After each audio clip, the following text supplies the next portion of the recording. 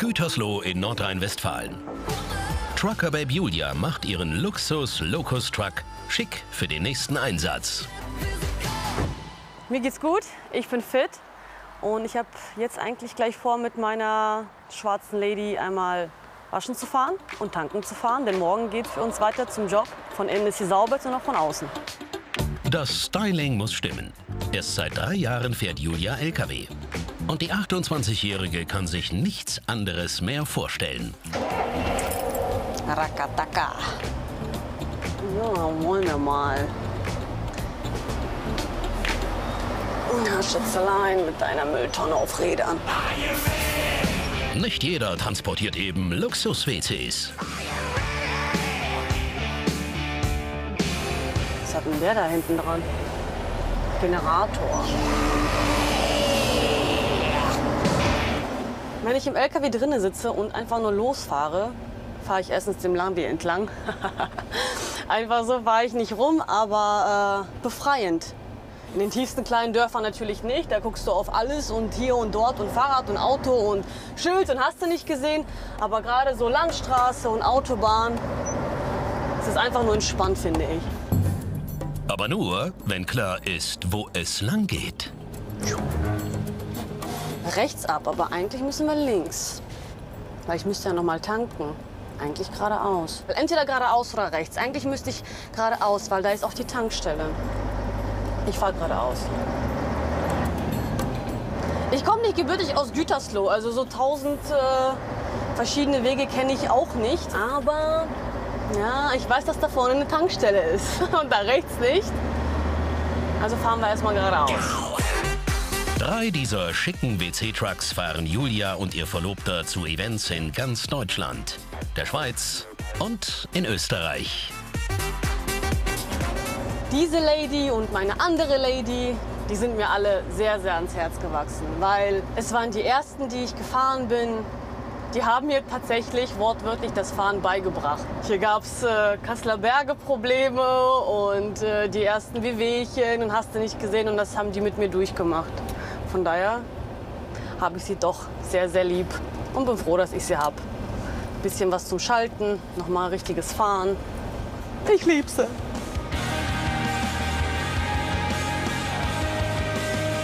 Die Baustelle ist einfach schon so ewig da. So ärgerlich. Und da kommt auch gleich die Tankstelle. Die Lady hat Durst und der muss dringend gestillt werden.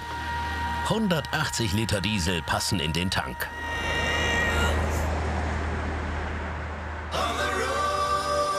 Vollgetankt kann's weitergehen. Diesmal mit Navi statt mit Bauchgefühl. Nach 300 Metern biegen Sie links ab, Osnabrücker Landstraße. Ich liebe Navis. Das ist so eine tolle Hilfe. Du kannst dich auf die Straße konzentrieren, du kannst dich auf alles konzentrieren, wenn sie dir sagt, wo du hinfahren sollst. Tolle Sache. So. Waschi, waschi, waschi, waschi, waschi, waschi, waschi, waschi, waschi, waschi, waschi, waschi, waschi, waschi.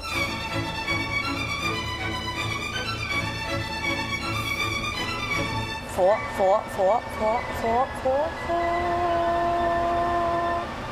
Stopp. So, Hallöchen. Äh. Und jetzt wird erstmal der LKW abgesprüht. Hopp. Und dann wahrscheinlich. Äh uh, was war das? Ah, das war die Bürste. Und dann kommt wahrscheinlich die Bürste dran. und äh, ich möchte ganz gerne ein bisschen mithelfen. Hier und dort mal in so kleine Ecken und Rillen reingucken, wo man sonst nicht reinkommt, ne? Genau. Immer schön vorsichtig, ne? Die Lady ist 30 Jahre alt und damit älter als Julia.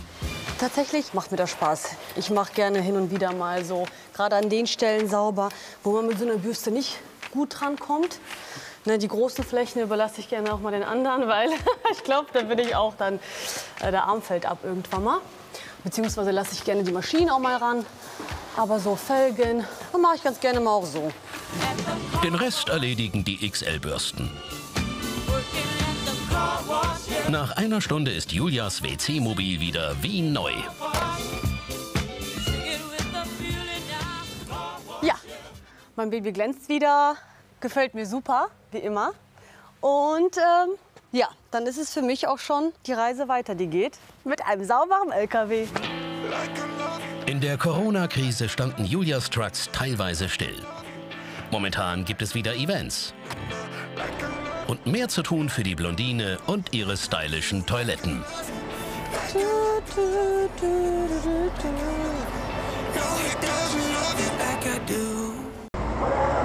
In Gütersloh fährt der WC-Truck von Truckerbabe Julia vom Hof der Waschanlage. Aber Julia hat heute noch mehr mit ihm vor. Mir geht's gut, mir geht's sehr gut. Ich liebe es, wenn mein Baby sauber ist. Ich mag es einfach, so soll es sein. Klar, hinten ist bei uns immer alles top, aber wir kommen ja erstmal vorgefahren und der Veranstalter oder der Kunde soll nicht denken, oh mein Gott, was ist hier los? Gerade auf Schwarz setzt sich alles ab, Spinnweben und Dreck oder hier, wenn man durchs Feld fährt, ein bisschen. Ne? Ja, das setzt sich schnell ab auf Schwarz und deswegen, doch, es muss äh, schön sauber sein und gepflegt am Ende des Tages. Auch Julia will glänzen. Mit einem Crashkurs will sie ihr Truck-Fachwissen auffrischen. Nächste Station, die Werkstatt ihres Vertrauens. Biegen Sie rechts ab, dann biegen Sie links ab. Biegen Sie links ab. Wir sind gleich bei der Werkstatt da und ja, ich bin ein bisschen aufgeregt, denn ähm, wir wollen ein bisschen was am LKW machen. Also sprich, äh, die Jungs machen was am LKW und ich gucke den ein bisschen über die Schulter und helfe mit. Ich helfe mit da, wo ich helfen kann. Ich will gucken, was ist hier los, äh, will ein bisschen was dazu lernen, weil die Sache mit den Ketten vom letzten Mal, die hat mich nicht so ganz ähm, eiskalt gelassen. Bei einer ihrer früheren Touren machte Julias 30 Jahre alter Truck plötzlich Mucken. Und Julia eine weniger gute Figur. Für mich fühlt sich das gerade ein bisschen eigenartig an. Ich kenne dieses Geräusch so nicht. Nicht gut. Hinten gibt es Geräusche und es dampft und es riecht komisch. Das sind diese Ketten, die runterhängen. Die schleifen sich da so auf den Boden. Ist das normal, dass das so extrem ist? Ich glaube, da ist was abgebrochen oder da hängt was runter auf einem Stück und das sieht nicht gut aus. Die Fehlerdiagnose gestaltete sich schwierig.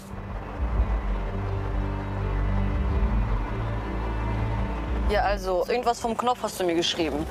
Welcher Knopf? In der Mitte der Konsole, ne? Ich habe den jetzt gerade gedrückt und check die Lage. Wait. Dann endlich Okay, wir sind hochgefahren.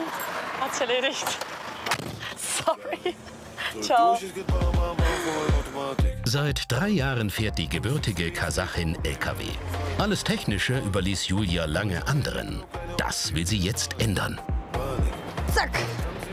Huh. Ready? Hallo? Jemand da? Aha! Hallo. Hallöchen! Schön, dich zu sehen. Ja, ebenso. Julia, was kann ich für dich tun? Uli, ich will ein bisschen mehr Ahnung haben vom LKW, also von meinem LKW. Diese Kettengeschichte, die ging mir ehrlich gesagt auf die Nerven. Und äh, dass ich keine Ahnung habe oder beziehungsweise nicht so viel Ahnung habe von dem ganzen Technikzeug, ähm, will ich vielleicht ein bisschen ändern. Ich will, dass du mir ein bisschen was zeigst, was beibringst. Ich will dir unter die Arme greifen. Ich will ein bisschen selber rumschrauben und was auch immer. Okay, dann musst du jetzt umziehen und dann sehen wir uns. Ja, ich habe ein bisschen was mit. Ich ziehe mich um und dann können wir direkt drunter her. Ja, auf Oder geht's. daneben. So, bis gleich. Gleich. Ich habe nicht nur vor, mich dreckig zu machen, ich werde es auch wahrscheinlich, weil ich habe wirklich vor, anzupacken und zu helfen. Drunter her oder Arme rein, egal was ich machen soll, wo ich helfen kann, wo ich was sehen kann, mache ich gleich. Und dann äh, ist es mir auch egal, wie ich dann nachher am Ende des Tages aussehe. Also, das sieht schon mal gut aus. Wer jetzt ans Schrauben denkt, hat gar nicht so unrecht. Nachdem ich mich umgezogen habe, wie man unschwer sieht, äh, fahre ich jetzt den LKW einmal da rein, also sprich in die Werkstatt. Und dann gucken wir, was weiter passiert. Ne? Julia fährt ihre WC-Lady auf die Hebebühne. Alles bereit zum Crashkurs mit Werkstattleiter Ulrich Sirp. So, Handbremse an, Gang raus. Gang raus, Handbremse. an. Schlüssel lasse ich hier liegen. Ja. Gut, Dann bocken wir jetzt hinten hoch und nehmen links das Rad runter. Kevin? Kevin, allein in der Montagegrube, lockert die Schrauben. Dann ist Julia dran. Wir machen die beiden Schrauben hier raus. Ja, warte, lass mal. bitte, bitte, bitte, bitte, bitte, bitte, bitte. Und diese zwei Schrauben halten das ganze Teil, ja? Nur die Kappe. Also meine ich ja, die Kappe. Ja. Okay. Schon ein bisschen eingerostet. Boah, die sitzt aber fest, ne? Jetzt habe ich das Stück. Ja, was mache ich denn, wenn ich das auf der Autobahn abmachen muss? Auf der Autobahn kann ich ja nicht so hochbocken. Ah, der ist warm. Hier sind die Radmuttern. Ja. Jetzt bauen wir erstmal den Halter hier ab. Das hier? Ja. Dann die anderen Radmuttern und anschließend nehmen wir das Rad runter, um hinten zu gucken, wo die Ventilverlängerung ist. Die ist nämlich weg. Da bauen wir eine neue ran. Dann nehmen wir jetzt einen Schlagschrauber und dann fangen wir mal ein bisschen an. Die sehen fest aus. Jetzt schon. Okay. Das Rad muss ab, weil dahinter eine Ventilverlängerung fehlt. Julia soll lernen, sich in Notfällen selbst zu helfen. Ja, und, das, das, das mache ich auf der Autobahn, falls war so, ja? Wenn es sein muss, auch das, ja. Oh Gott. Boah, das ist schwer. Gut, gut festhalten, dass du die Finger nicht klemmst. Ist er jetzt ab? Ah, er ist ab. Jawohl. Da waren es nur noch 30. Wacker Macker hier. Hundertprozentig. So, jetzt machen wir die anderen beiden. Die, die und die. Und das machen deine Jungs den ganzen Tag? Ja. Die hübsche Blondine kann gut mit großem Gerät. Ich würde sagen, es läuft. das macht Spaß. Und ich bin schon dreckig geworden. Ich hab's doch gesagt. Doch dann, bei den letzten Schrauben passiert nichts. Will er nicht? Mach mal. Ja, der will gar nicht. Keine Panik, Uli fragen, der kennt den Grund. Wir sind schon länger dran, wahrscheinlich ein bisschen angerostet. Ja, der will gar nicht ab. Kleines Stück. Für Julia heißt es heute Werkstatt statt Bock. Das Trucker Babe bekommt Nachhilfe in Sachen LKW-Technik. Lektion 1, Reifen wechseln. Machen ein bisschen WD-40 dran. Meinst du, jetzt geht er ab? Ja, das reicht noch nicht. Da wird er sich noch nicht nachgeben. Jetzt wollen wir ein bisschen warm machen und dann wird er kommen. Warm machen. Wir werden jetzt ein bisschen mit Feuer arbeiten. Ein Feuerzeug? Ja. Bunsenbrenner? Ja, mit etwas größeren werden wir jetzt arbeiten. Ich bin Feuer und Wo Trucker Babe Julia ist, da ist es heiß. Durch das Feuer dehnen sich die alten Muttern aus und lassen sich leichter lösen. Moment. Brennt noch ein bisschen. Ah, okay. Ja. Ich glaube, wir sind hier bei der Feuerwehr gelandet. Jetzt darfst du wieder.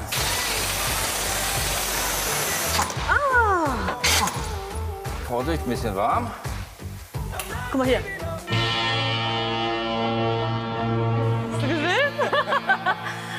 Rauchende Calls und heiße Frauen. Aber das war noch nicht alles.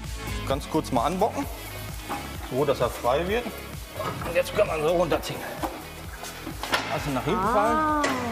Okay. Und da haben wir es schon. Das erste Rad ist ab.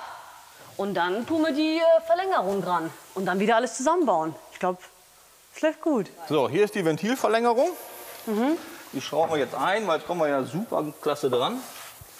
Und die schrauben wir einfach nur hier drauf. Das war's. Das war's. Julia meistert den Crashkurs ohne Probleme. Einer noch. Oh, wie viel wiegt denn das Teil hier? Fünf Kilo, mehr nicht. Was? Prima. Also ich bin zufrieden. Jetzt prüft man auch den Reifendruck, ob so passt. Und dann haben wir das geschafft. Das finde ich gut. Also, ich fühle mich gut. Gute Arbeit. Selbst ist die Frau. Pow. Dann würde ich sagen, machen wir jetzt einmal die Abfahrtskontrolle. Bevor du das nächste Mal auf Tour gehst, dass du weißt, wo gucke ich Wasseröl. Und wir gucken noch ein bisschen was der Motor so macht. Wir heben einmal kurz an vorne das Fahrerhaus. Ja, genau. Und ja, Das klingt gut. Lass uns das mal machen. Ja, Haube auf. ja, Das kennst du sicherlich schon. ja. Hier haben wir den Kühlwasserbehälter. Den brauchen wir nicht aufmachen. Wir sehen Sieht schon, man. Mhm. das ist bis hier oben hin voll. Da vorne haben wir den Ölmessstab. Ja, So, und jetzt der Drehtchen. Hier sehen wir die Markierung. So, hier ist minimal maximal. und maximal. Wir sind jetzt genau dazwischen, zwischen minimal und maximal. Das ist gut, ne? Ja, sind bei diesen ungefähr so 6 Liter. Also ich würde sagen, wir könnten dann noch so fast 3 Liter nachfüllen. Okay. Hier haben wir den Sicherungskasten. Mhm. Hier ist die Beschreibung davon drin. Das ist ein bisschen Trizepsübung, ja. Ja. Gutes Fitnesstraining. Ich muss gleich mal Arm wechseln, dann sind die beide ausgeglichen, ne? Sieht ein bisschen gefährlich aus, muss ich ehrlich sagen. Ja, ist es aber nicht.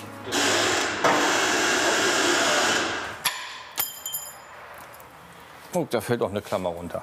Ja, guck. So, die Ventildeckel. Gucken, ob es ölundicht ist oder irgendwo hier an den Leitungen Wasser herkommt. Ist aber trocken, Alles ne? super trocken. Der Turbolader hier, luftseitig, abgasseitig. Sieht auch alles total gut aus. Hier gibt es noch einmal einen Behälter für die Lenkölhilfe. Da kann man auch mal schauen, ob genug Öl drauf ist. Und wir sehen, es ist bis Maximum Ja. passt. Ja, damit sieht der Wagen eigentlich top aus. Nichts undicht und ich denke mal, wir sollten wieder runterkippen Ja. Wieder und pumpen. dann ist die Abfahrtskontrolle gelaufen. Ihr WC-Mobil hat den Check bestanden und Julia weiß jetzt, wie sie Kleinigkeiten an ihrer alten Lady selbst prüfen und reparieren kann. Heute hat es echt Spaß gemacht. Also mir auch. Kommt nicht jeden Tag vor, dass wir so jemanden hier haben. Vielleicht auch mal so ein bisschen an die anderen, dass man mal so sieht, äh, was machen unsere Leute eigentlich den ganzen Tag. Aber da hat sie sich super gemacht, wirklich. Also großes Lob. So, haben wir es geschafft, Uli? Ja, hat wirklich super Spaß gemacht. Ich hoffe, dir auch. Mir auch. Da das hervorragend geklappt hat, habe ich noch eine Überraschung für dich. Okay, bin Ja? ich gespannt. Ja. Uli kommt mit einem brandneuen Truck. Was ist das denn für ein Teil hier? Ah! Uli, das wäre doch nicht nötig gewesen, dass du mir sowas schenkst. Wow. So, hier ist er, der neue TGX. Ist fast 30 Jahre später als dein MAN, der sich auch super gehalten hat. Möchtest du eine Probefahrt machen? Ich will. Für mich ist das eine Premiere. Ich bin sowas nicht gefahren. Also sowas Neues. Neu, neu, neu. Oh, und tschüss. Wow, das sieht schon so geleckt aus. Wow. So. Oh, oh. Automatik. Uli.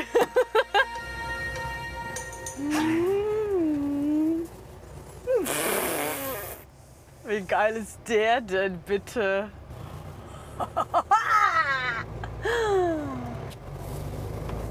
Oh. Ich bin ja eben noch meinen gefahren und ich meine, ich liebe mein Fahrzeug, Ja. ne? aber das ist natürlich, das ist Luxusfahren. Und das passt ja zu Julias Luxustoiletten. Richtig cool, ehrlich, richtig cool. Licht eingeschaltet, guck mal, der meldet sich von selber. Auf Null stellen? Ja. Absoluter Wow-Moment, weil 30 Jahre Unterschied, ne? 30 Jahre. Baby und Old Lady, würde ich sagen, ne?